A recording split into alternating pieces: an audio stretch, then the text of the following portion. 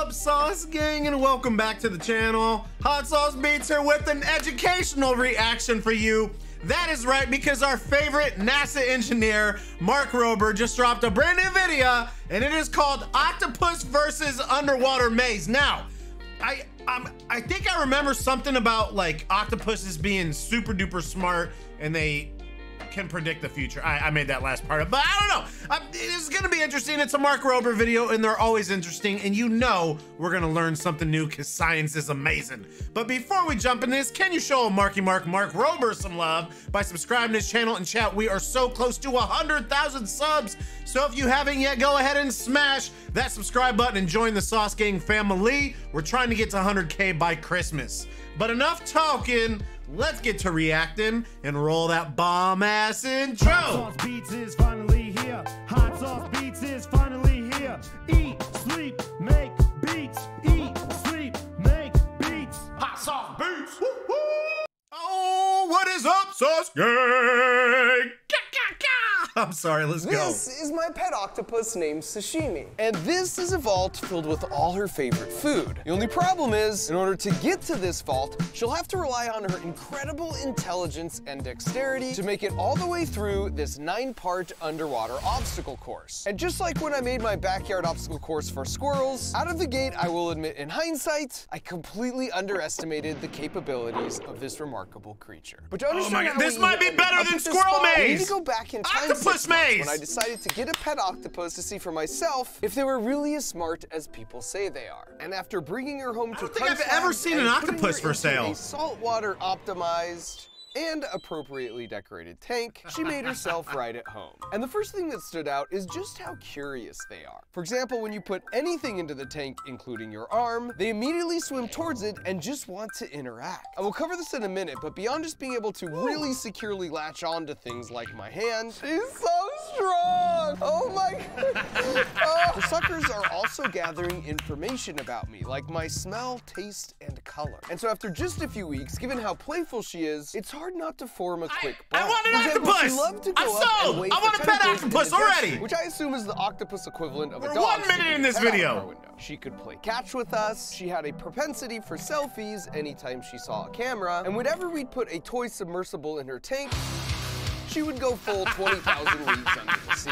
And as I did more research, I learned She's that like, for the "Die!" 100 million octopi every year us humans put on a dinner plate or in a pet store, basically all are born and originally raised in the ocean, meaning they aren't bred in captivity, which is when I was hit with the startling realization that essentially made me the bad guy in Finding Nemo. And since no one wants to be the bad guy in Finding Nemo, as much as we'd already come to love sashimi here at Crunch Labs, I did some investigating and found out from the pet store we got her from the exact spot they pulled her out of the ocean. The only problem with my plan of returning her was she'd been hand-fed now for quite some time. So the idea was that if she could figure Ah. out and remember how to solve an obstacle course maze, then I would be assured that she could figure out and remember her early days hunting in the ocean. finding and her could Send freedom! her back home with confidence. Phase one of the plan was to give her some challenges and then observe her behavior to understand what capabilities she actually had. Oh, And stop it! turns She ain't gonna solve no Rubik's Cube! It's a lot. She ain't solving no Rubik's their Cube! ability to color and shapeshift is unmatched in the animal moves kingdom. so fast, For example, dude. can you spot the octopus hiding in plain sight right here?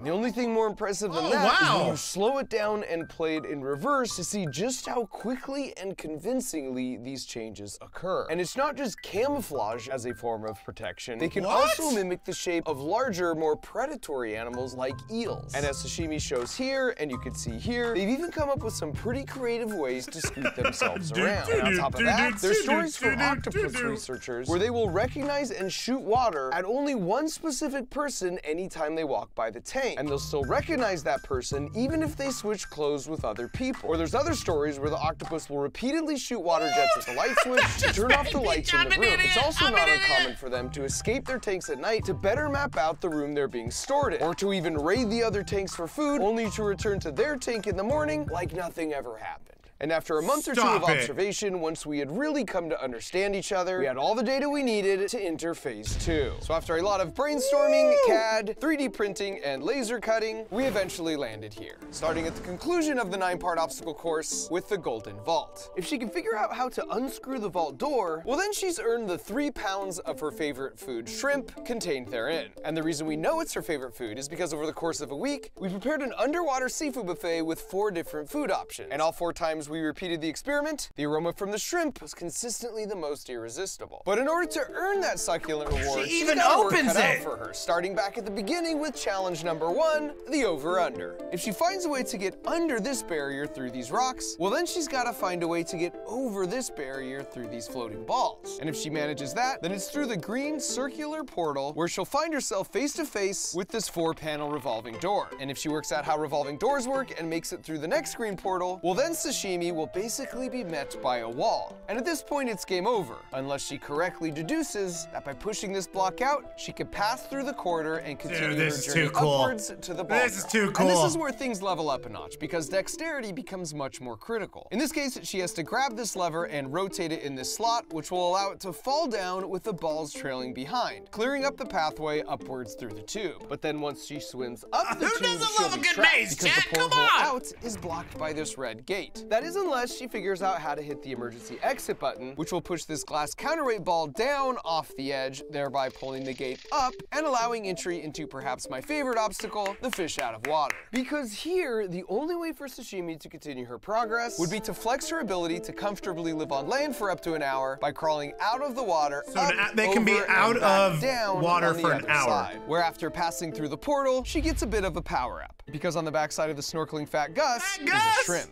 Now this is a bit of a throwback to the tourist trap on the squirrel maze where a strategically placed snack led to a timely photo op. But in this case I call it the Medusa because the hope is that as she eats the shrimp with her beak on the underside of where her legs all come together, it will look like Fat Gus has eight braids of beautiful flowing hair. and now that she's feeling refreshed, Sashimi can hopefully finish strong with Let's the go, Fat penultimate challenge, which is sort of a double obstacle. Because there are six holes in the top ranging from small to really small. And if she takes the easy route by squeezing through the least small hole, well then she has a lot more maze to deal with, as opposed to the smallest hole that puts her right at the finish. Either way, at this point she's made it here, and if she solves the final puzzle by unscrewing the vault door, she's not only earned the all-you-can-eat seafood buffet, but she's proven Yeah, she's baby, who doesn't love a good buffet? To handle being returned back to her ocean home to the very tide pools she was raised in. So with everything in place, all that was left to do Let's was go, open the ball valve. And as the Oh, smell of fresh shrimp made its way to her tank, she made her way down the tube like an eight-legged gladiator to her saltwater coliseum. So while we wait for her to make that 40-second trek, this is the perfect time to mention that if you want a Christmas morning reaction like this, oh, Ho, ho, ho! or this, Merry this. Christmas!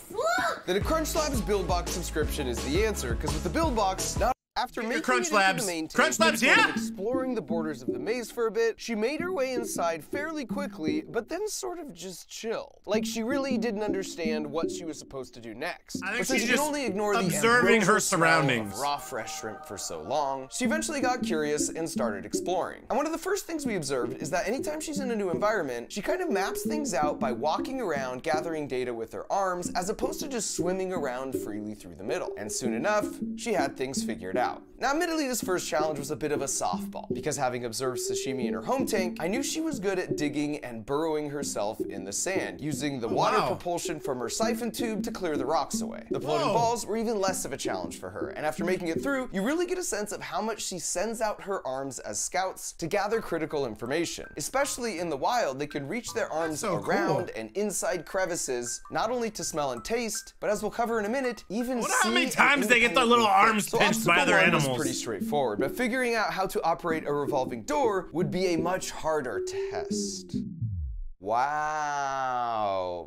Okay, I see how this is gonna be. This was my first real indicator that we were headed for a real battle of wits. It was a similar feeling to when the squirrels eventually outsmarted my rope bridge of instability by just jumping over it altogether. And I really should have seen this coming, because as you can see in this video of an octopus escaping from a ship, as long as an opening is bigger than their beak, which is the only actual hard part of their body, then they can eventually squeeze through it. In fact, if we roll that back, you can see Sashimi's beak, or mouth, right here. And while this part looks like a big nose, that's actually their main body where all their vital organs reside, like their brain, stomach, And it's just squishy, gills, squishy. kidneys, ink sac, siphon, and their three hearts. Two other cool facts about octopi is their blood is blue because it's copper based, since that's more efficient in cold, low oxygen environments. And if they lose an arm, they can regrow it completely That's and it will look That's crazy. indistinguishable from the original. Next up was the block push. Once again, she got to this point and was sort of stumped without an obvious path forward. But this is where their natural curiosity pays off. Because she's not just feeling surfaces with her arms, but also constantly pulling and pushing to see what she can interact with. And so, sort of by default, she figured out this red part of the wall doesn't push back as hard, which cleared the way up to the ball drop. And I knew this one would be tough for her because number one, there's not enough room for her to just squeeze by. And number two, pushing and pulling on walls wasn't gonna solve it either. And after struggling in vain to find out what she was supposed to do for quite some time, eventually she got frustrated and just stopped and sat there.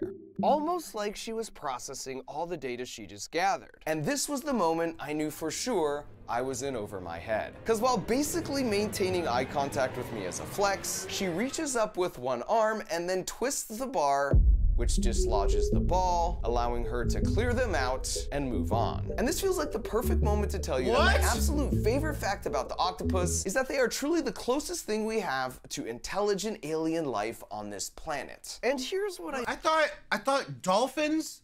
I thought dolphins were the smartest animals on the planet, followed up by apes. Mean by that. This is a very simplified version of a tree of life. These kind of diagrams show you how all life is related and what evolved from what. How do we know this? Well, by being true scientific detectives and looking for clues. For example, a few hundred years ago, scientists noticed that us humans have seven vertebrae in our necks, but so do giraffes. But wait a sec, so do whales, mice, elephants, lions, horses, and bats. So that's a clue they all share a common ancestor and belong to this group called mammals. And it's not just neck bones. Watch what happens if you compare the arm bone configurations of a human to a bat, to a chicken, to a turtle, to a dolphin. It's wild what Wow. tiny beneficial mutations and millions of generations can produce. And of course, with genome sequencing developing over the last 40 years, it's allowed us to compare the DNA of different species and sort of check our answers in the back of the book. Anyways, using these techniques, if you want to see where our lineage broke off from that of octopi in the Tree of Life, you have to go back over half a billion years ago to a simple flatworm. But if you look closely, all of what we think of as the smart animals are over here on this side of the Tree of Life, including dolphins, dogs, pigs, horses, humans, but even birds, dinosaurs, and fish. And their intelligence and way of thinking are all related to each other, sort of like those arm bones I showed. But octopi developed their intelligence completely independently from everything over here, like an alien from another planet, and that's why they're built just so differently from us. For example, they have twice as many neurons as a cat, but unlike all the animals over here where all the neurons are focused in the brain, in octopi only one third of their neurons are in the brain, and the rest are in their arms, which means they not only smell and taste, but they can even think and act independently with their arms. That means that even if their arm is cut off, the arm can still camouflage itself to the surroundings by sensing light. It would be like closing your eyes, walking into a room, touching a wall, and having your hand match the color. Having eight independent mini brains along with a larger central brain is as incomprehensible as alien intelligence. That's does. crazy, Now back at the maze, Sashimi had made it to the emergency button, putting her at the halfway mark. And as usual, she starts by having her arms do all the recon work. And it's almost like once she feels the red door, she figures out my trick and then immediately pushes the button to drop the ball and open the gate to move on to my favorite obstacle, That one the was fish out quick. of water. And I was relieved to see that I had thrown her another curveball, because after quite a bit of exploratory arm expeditions, she realizes the only way forward is up and out. And so after psyching herself up, she just goes for it, sliding up, over, and eventually down. And this demonstrates cool. another octopus superpower, because they can survive out of water for up to an hour. And as you can see here, Shade!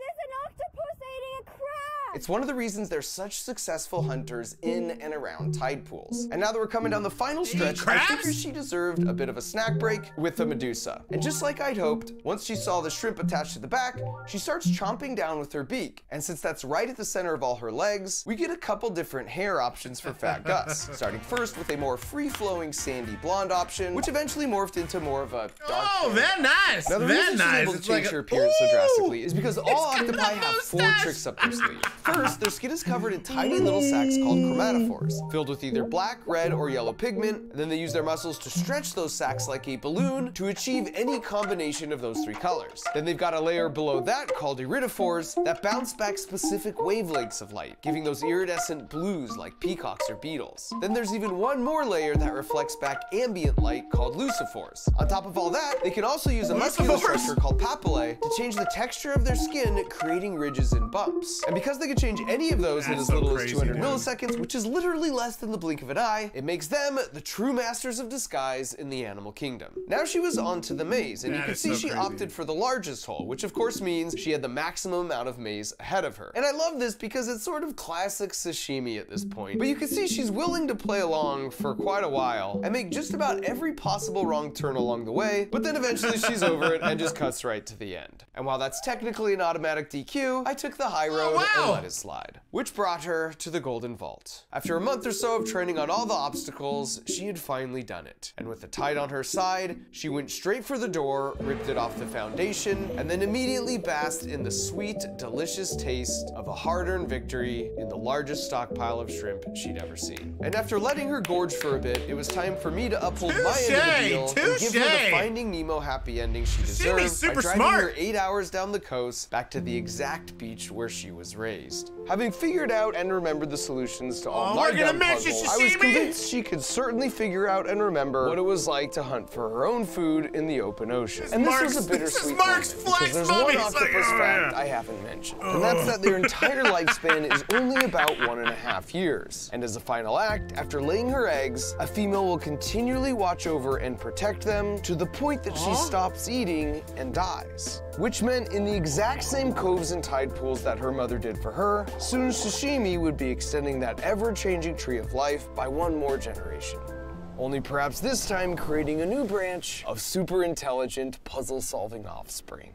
With everything you know about sashimi at this point, it should come as no surprise she also has incredible taste in toys. But what should also hopefully not surprise you after watching the videos I've been making on YouTube for 12 years is that learning science and engineering doesn't have to be sucky and boring.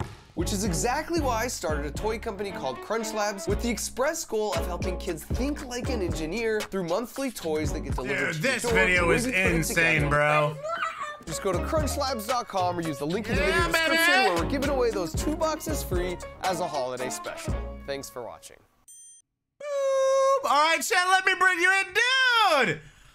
So I am a massive, massive fan of his squirrel maze videos, but I, I, I didn't know what we were getting in with this. I mean, I guess it's pretty obvious, octopus under underwater maze, but I just when I clicked on it, it didn't like register in my brain that this was gonna be like squirrel maze, but with an octopus in water. And I think I might have liked it better, man. I just learned so much about octopuses in this video. I didn't realize they were that smart and they could do that much. And it's so crazy. Like I knew they could fit through small, you know, openings and stuff, but I didn't realize as long as it was just a smidge bigger in their beak, they can fit through it. I also didn't realize they ate crabs. So, Mark, touche to you. This might be one of my favorite Mark Rober videos. Like, I think this was just absolutely brilliant. Don't get me wrong, I love when he catches thieves and all that stuff, but I love educational, fun ones like this. They're very wholesome, super educational, and that's Mark's bread and butter, science.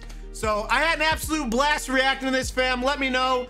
Um, let me know in the comments what you guys think. Make sure you show Mark Rober some love by subscribing to his channel. And again, we're trying to get to 100,000 subs by Christmas. So if you haven't yet, please smash that subscribe and like button. It's absolutely free. Join the Sauce Gang family. Enjoy the rest of your weekend. And remember, it's eat, sleep, and make beats and as usual be kind one another. That's all I got. Boom. I'm out. Gonna be love the Sauce Gang. Peace out, champ. Bye.